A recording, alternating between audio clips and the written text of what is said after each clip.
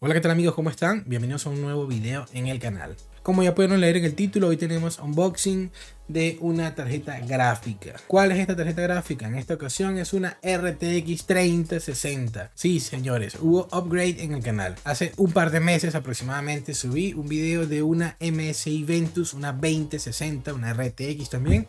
Pero bueno, en este caso hice un pequeño upgrade en la computadora de mi equipo y compré de nuevo la marca Zotac. ¿Por qué de nuevo? Para los que no saben, acá les voy a dejar una tarjetita en la parte de arriba. En el 2019, cuando salieron las RTX 2060, yo adquirí una 2060 de la marca Zotac. Fue la primera que llegó a Perú y fue la primera que pude comprar. Es una gráfica que me duró desde el 2019 hasta este mismo año y que me dio un rendimiento bastante bueno por el precio que pagué. Eh, fue un salto súper, súper monstruoso porque yo venía de una, una 1060, luego tuve una 10, 1070 Ti. Y bueno, cuando compré la 2060 fue un rendimiento brutal para el precio que, que pagamos en ese momento. Bueno, ahora como ya les dije, tenemos eh, la Zotac RTX 3060. Quería compartir con ustedes el contenido de la caja. Eh, ¿Por qué? Porque bueno, esta gráfica salió el año pasado. Hay muchas personas que piensan en comprársela actualmente o incluso actualizar desde una 2060. Y yo les voy a dar mis impresiones como lo he hecho anteriormente. Primero y principal, bueno, tenemos la cajita que es bastante pequeña, como ya nos tiene acostumbrado Zotac en estos productos. Eh, tenemos 12 GB de memoria GDDR6 el sistema de enfriamiento que ellos denominan Ice Storm 2.0, el FreezeTech, no sé qué significa, Nvidia Ampere, que es la, digamos, la nomenclatura de estas RTX, la versión Twin Edge no es la versión OC, pero bueno, es básicamente lo mismo, pero sin overclocking, cosa que podemos hacer posteriormente en el software de Zotac. En la parte de atrás de la caja que tenemos, bueno, también tenemos un poco más de información. Ice Storm 2.0. El Freeze es algo muy bueno porque en comparación a la 2060 de Zotac también, esta sí detiene los ventiladores cuando no estamos dándole carga gráfica a, la tarjeta. Punto negativo que tenía mi Zotac, mi 2060, era que por más que el equipo estuviera en un estado de reposo, sin uso de la gráfica, los ventiladores siempre estaban girando. Entonces en este caso, bueno, en este modelo tenemos ya que los ventiladores se detienen si no le estamos dando carga gráfica o uso a la tarjeta de video. Eh, bueno, aquí tenemos las características, la segunda generación de los núcleos de Ray Tracing, tercera generación de Tensor Cores, bueno, PCI Express 4.0, en la 2060 era 3.0. Mi eh, DirectX 12, eso sí es igual. Nvidia DLSS, bueno, GeForce Experience, G-Sync, HDMI 2.1 y un Display por 1.4A. Esto es para, digamos, las características eh, por encima, digamos, de esta gráfica. Vamos a abrir y, bueno, vemos el contenido. Zotac en comparación con otros fabricantes es un fabricante que no incluye accesorios en sus gráficas. Bueno, en la mayoría, por lo menos las más de gama más baja. Tenemos acá cuando abrimos la caja, tenemos otra cajita. Vamos a apartarla por acá. Tenemos esta cajita con el logo de Zotac, un cartoncito negro bonito.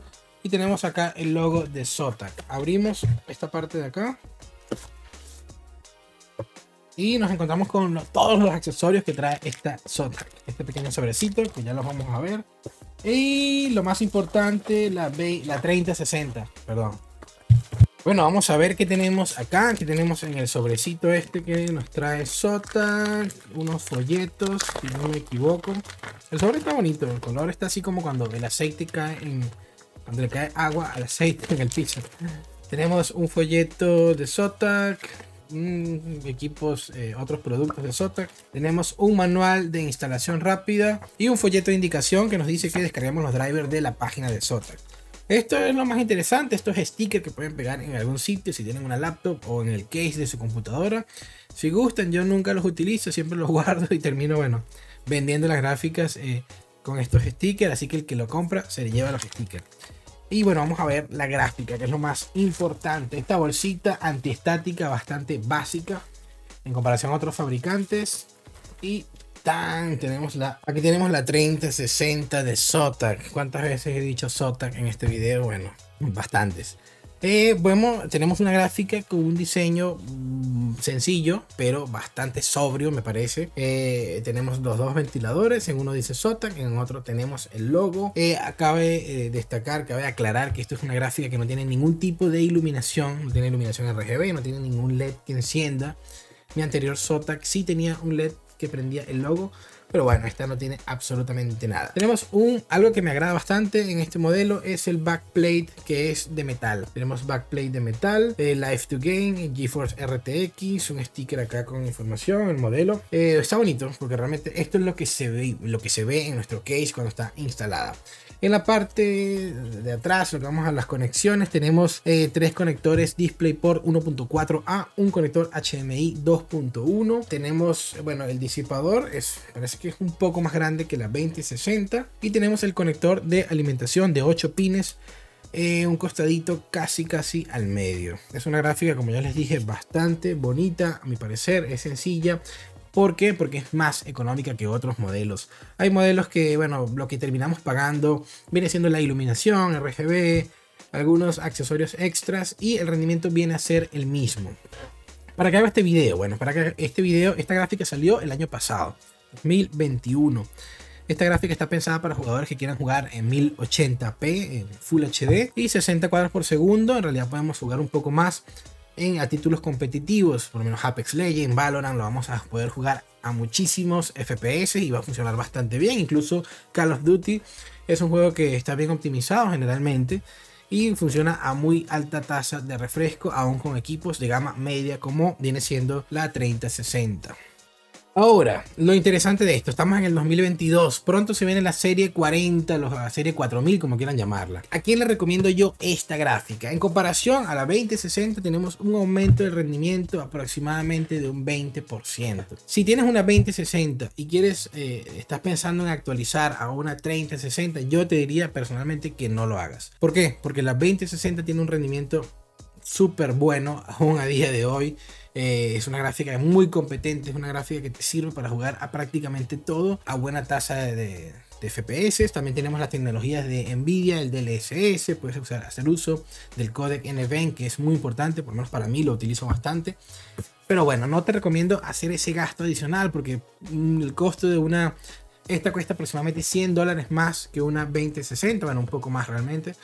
Entonces no vale la pena actualizar, ya es mejor esperar a la nueva serie de Nvidia. ¿A quién le recomiendo yo esta 3060? Si estás haciendo un upgrade o una actualización de una gráfica muy inferior, por ejemplo, en este caso acá tengo la Radeon RX 580 de 4 GB. Digamos que tienes una excelente Radeon, pero quieres comprarte una tarjeta gráfica nueva. Puedes comprarte una 3060 ¿Por qué? Porque vas, a tener un salto de rendimiento muchísimo mayor, vas a tener algo mucho más actual y bueno, vas a tener una gráfica que te va a durar varios años. Así que si estás pensando en adquirir una gráfica, bueno, en este caso la SOTA puede ser porque la vas a conseguir más económica. No te dejes llevar incluso por otros fabricantes que te ofrecen, sí, más accesorios, más bonita, bueno, a menos que sea tu caso. Pero si no, no inviertas tanto, cómprate una 3060 SOTA, que son una de las más económicas. Bueno, también tenemos la Galaxy que es creo que la más económica. Pero bueno, Zotac a mí me ha dado un resultado bastante bueno en mi gráfica anterior, que fue la 2060, y no me quejo para nada.